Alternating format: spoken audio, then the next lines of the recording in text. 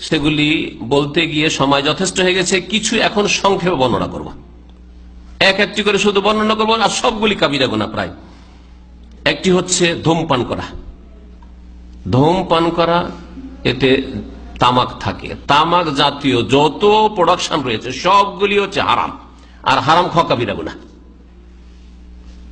সুতরাং এমন পান যেই পানে জর্দা খাচ্ছেন জর্দা হারাম জর্দা হারাম। হারাম খেলে দোয়া কবুল হয় না। জর্দা খাওয়া মৌলবি হুজুরের দোয়া কি করে কবুল হবে? যাকে দিয়ে মোনাজাত করাচ্ছেন হ্যাঁ?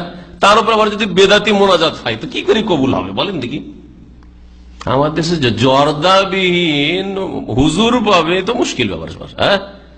আর তাদের কাছে আশা করছেন যে তাদের দোয়া, মোনাজাত আপনার বাপ মা জান্নাতে যাবে তাদের কোরআন খানি করে হ্যাঁ ওই জর্দার গন্ধ আসছে, আর কোরআন খানি করছে, আর বক্সাচ্ছে আর আশা করছেন যে আপনার মাকে বক্সে দিল আর বাপকে বক্সে দিল, সব দান করে দিল, নাকি আর জান্নাতে পাঠিয়ে দিল? এক তো বিদাতি তরিকে, আর তারপরে আবার যারা হারাম খায় তাদের দুয়ার আশা করছেন, কি করে তাদের দোয়া কবুল হবে? স্পষ্ট সেই মুসলিমের হাদিস হ্যাঁ?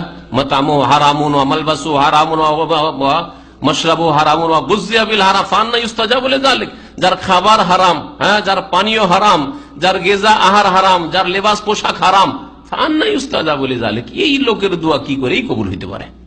এই লোকের দোয়া কি করে কবুল হইতে পারে? সুতরাং একটু বাড়াবাড়ি কথা নয়। যাদের পেটে হারাম যায়, শরীরে হারাম যায়, খাদ্য হোক আর পানীয় হোক অথবা পোশাক হোক, শরীরের উপর পোশাক রয়েছে, হারাম পয়সার, তাদের দোয়া কবুল হয় না, সহি মুসলিমের হাদিস রসুল্লাহ সাল্লামের আমালু সালেহ আল্লাহ পাক নবীদেরকে বলেছেন যে তোমরা পাক পবিত্র ভক্ষণ করো, খাও আর নেক আমল করো। কুলুমিন তৈবাত মারাজাকনাক মশকরুলিল্লাহ আল্লাহ পাক মমিনদেরকে বলছেন যে তোমরা কুলুমিন তৈবাত মারাজাকনাকুম যা দিয়েছি তা থেকে পাক পবিত্র গুলি খাও, আর আল্লাহ পাকের শুক্রিয়া আদায় করো, দোয়া করো এবাদত করো, তাইলে কবুল হবে। সুতরাং ধূমপান হারাম, এই কাবিরা গুণা করবেন না। যত রকমের ধূমপান রয়েছে, সে হুক্কাই হোক, আর বিড়ি হোক, আর সিগারেট হোক, আর যেইভাবে হোক না কেন, যে কোনো আকারে হোক না কেন। এইরকমই তামাক জাতীয় যত কিছু জর্দার আকারে হোক আর যেইভাবে ঘুষেই হোক আর ওই গুল গুল ব্যবহার করে দাঁত পরিষ্কার করা হোক, এই তামাক জাতীয় জিনিস হারাম। আপনারা হয়তো জানেন, আর এটা সাধারণ মানুষরাও জানে, যে তামাক শুধু এই দুই পাইয়া হ্যাঁ মানুষে খায়, তাই না? তামাক গরু বকরিতে খায় কি? তামাকের জমি ঘেরা লাগে না, ওর জন্য বেড়া লাগে না। ওর জন্য পাহারা লাগে না যে বকরি ছাগলে চড়ে যাবে গ্রামের সুভান আল্লাহ যেসব প্রাণীকে আল্লাহ ফকরাবুল্লাহ আলমিন আমাদের মতো বিবেক বুদ্ধি জ্ঞানও দেননি সেই সবগুলিও বুঝছে। যেগুলি খাবায়েস, আল্লাহ খাবায়েস হারাম করেছেন। আর এই খাবায়েস খেলে ধ্বংস হয়ে যাবে, দুনিয়া ধ্বংস হয়ে যাবে। ওরা দুনিয়ার ও প্রাকৃতিক ভাবে আল্লাহ ফকরাবুল্লাহ ওইভাবে সৃষ্টি করেছেন যে দুনিয়া তোর ধ্বংস হয়ে যাবে এইসব খেলে। আর আমাদের এই সিগারেট ধূমপান করে আর এই তামাক খেয়ে দুনিয়াও ধ্বংস হচ্ছে, দিনও ধ্বংস তারপরে আমরা বুঝি না। এই হারাম থেকে বাঁচবেন। একটি হারাম যা ব্যাপক হারে ছড়িয়ে রয়েছে তা হচ্ছে টাকনা নিচে কাপড়। মুসলিম সমাজের এক তো আটানব্বই শতাংশ বেনামাজি। শুনে রাখেন পরিসংখ্যান। আর দুই শতাংশ যে নামাজি আছে, পাঁচ উক্ত নামাজি, তাদের অধিকাংশই আবার টাকনা নিচে কাপড়ওয়ালা। তাদের মধ্যে কিছু আছে টাকনা নিচে কাপড় রেখেই নামাজ পড়ে, আর কিছু আছে একটু ভদ্র নামাজি। হ্যাঁ? ভদ্র টাকনার নিচেওয়ালা। ওরা মসজিদে ঢোকার সময় কাপড়টাকে মুড়িয়ে নেয় মুড়িয়ে নেওয়ার পরে আল্লাহর সামনে বলছে আল্লাহ, তোর সামনে একটু আদব কায়দার সাথে দাঁড়াই, ইসলামিক লেবাস নিয়ে। আর যখন নিজের কফিলের সামনে, মদিরের সামনে, আর বসের সামনে, আর যখন রাস্তাঘাটে যাই, তখন টাকনার নিচে কাপড় নিয়ে যায় মহিলাদের মতো। মহিলাদেরকে আল্লাহ বলছে, তোমরা ঢাকো, সেজন্য তারা উঠানো শুরু করেছে। আল্লাহ নাফার মানে আল্লাহ নাফার মানে শয়তান আনুগত্য করছে। মহিলা বলছে, ডাকো ডাকো ডাকো। বলছে, আমরা উঠাবো উঠাবো, উঠাচ্ছে, কাপড় উঠাচ্ছে ওরা। যত টাইট করতে পারে চারিদিকে, এই দিক থেকে টাইট করছে, ওই দিক থেকে হ্যাঁ? আর পুরুষদেরকে বলছে উঠা উঠা বলছে, নামাবো নামাবো, শয়তান আনুগত্য করব, আল্লাহ তোর নাফারমানি করব। ঠিক কিনা?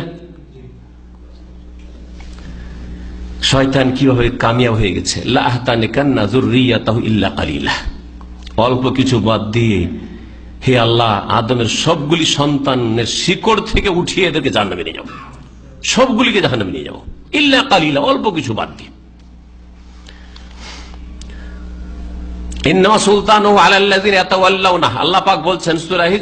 শয়তানের দাপট কার উপর চলবে? যারা শয়তানের সাথে বন্ধুত্ব রাখবে। শয়তানের সাথে মিত্রতার ঘোষণা করবে। শয়তানের আনুগত্য করবে। শয়তানের পিছনে পিছনে যারা চলবে। শয়তানের নাফরমানি করলে আল্লাহর আনুগত্য হয়। আর দুটোই ঠিক রাখবেন, আল্লাহর আনুগত্য আল্লাহকে মানবো, আর কিছু কিছু ক্ষেত্রে শয়তানকে মানবো। এইভাবে জান্নাতের রাস্তা নয় মাঝামাঝি রাস্তায় পড়ে আছেন আপনি। হ্যাঁ শেষ পরিণাম শয়তান গ্রাস করে নেবে, যেমন আল্লাহ কোরআনে কেরিমে বলেছেন। তো টাকনার নিচে কাপড় গেলে নবী করিম সাল্লাম একটি হাদিস সহি বুখারিতে রয়েছে যে জাহান নামে যাবে। মা সালামিন আল কাবাইন মিনাল ইজারিফিন্নার টাকনার নিচে যদি কাপড় যায়, তাহলে জাহান নামে যাবে। এখানে অহংকারের কথা বলা হয়নি। আর এক হাদিস রয়েছে সহি মুসলিমে অহংকারের সাথে টাকনার নিচে কাপড় ঝুলায়, তাহলে আল্লাহ পাক রহমতের দৃষ্টিতে তাকাবেন না। তাহলে দুটোই শাস্তি রয়েছে। শেখ রহমতুল্লাহ আলী বলেছেন যে দুটো অপরাধের জন্য দুই রকম শাস্তি। এর মানে এই নয় যে কারও যদি কেউ যদি বলে, আমার অহংকার নেই বা এমনি আমি কাপড়টা লম্বা করে তৈরি করছি, তো তাকে আজাব হবে না, এমন কথা নেই তাকে জাহান নামে যেতে হবে। কারণ ওই হাদিস অহংকারের কথা নেই। এই জন্য দুই দুটো অন্যায়ের ক্ষেত্রে দুটো শাস্তির কথা নবী করিম সাল্লাম উল্লেখ করেছেন। দুনিয়ারও ক্ষতি রয়েছে এতে আখেরাতের ক্ষতি রয়েছে, মনে রাখবেন।